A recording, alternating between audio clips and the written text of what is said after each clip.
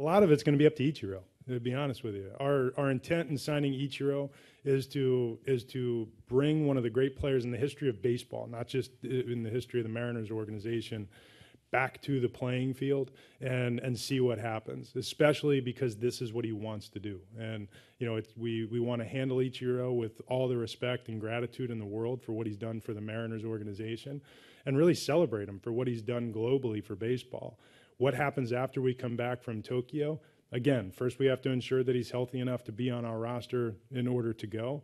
But when we come back, our goal is to develop our young players. And I, I don't know how more clearly I can say that. It's uh, we want this season to be about Mitch Haniger and Mallex Smith and Domingo Santana.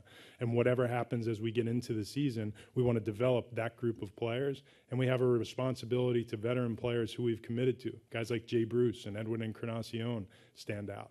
So there's there's a playing time. We can't make up extra games in a season, and we can't create spots on a roster. But we can be open-minded to what happens when great players get opportunity. It's amazing what they can do with it.